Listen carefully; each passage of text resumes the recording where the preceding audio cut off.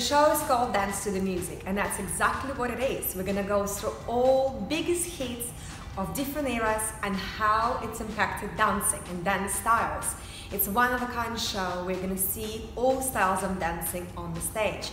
Break dancing, street dancing, hip hop, locking, popping, Latin dancing, ballroom dancing, Argentine tango, salsa and more. Come and see us. It's gonna be a beautiful mixture of different styles and something for everybody.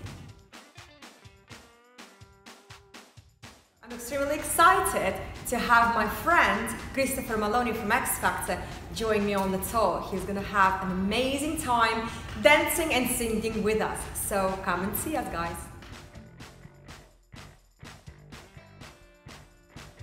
Beth Sherman actually performed a lot of my charity events and then developed a wonderful relationship with Beth. I think she's a great singer and we were looking for something very unique with great, great vocals. So she's a female singer going to be just absolutely incredible in our show. Once again, I'm gonna dance with Robin Windsor, my professional partner from Strictly Come Dancing. Obviously, I took a year off because I had a baby, but now I'm coming back and I'm so excited to dance with him again.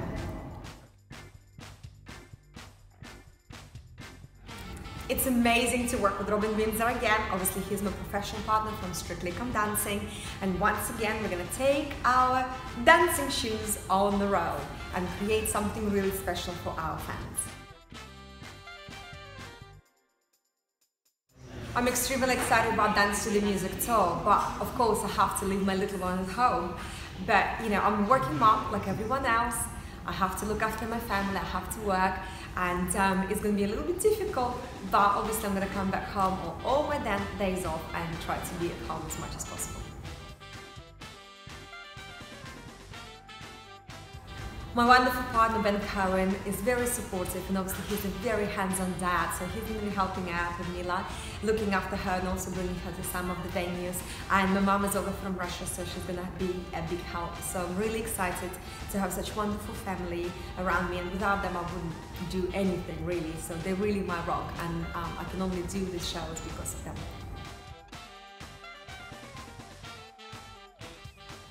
I just turned 40 last Friday and obviously it's a big milestone, but it doesn't stop me from working or creating something exciting like Dance to the Music. It's been a long time coming project. I'm so excited to actually create something very different for dance lovers and hopefully people will come and find something unique in that show because there is no other show like Dance to the Music. It wasn't easy to lose baby weight and come back to my pre-pregnancy shape. I took a lot of time to actually do it healthy way. Changed my diet. Once I stopped breastfeeding, I went vegan and also lots of yoga and lots of dancing. So that's the winning formula for me. Vegan diet, actually people have, it's, there's certain stigma around vegan diet. People think it's really hard and you only eat leaves all day long, but it isn't like that. There is so much variety and actually when you cook from scratch, there is so many amazing dishes. I feel absolutely incredible.